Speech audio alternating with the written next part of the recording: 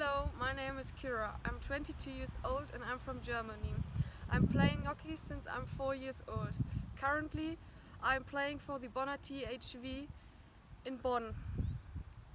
At the moment, I'm studying sport management with communication at the German Sport University in Cologne. I want to spend my year abroad in the USA in, in 2019 to play hockey. I hope to see you soon. Bye.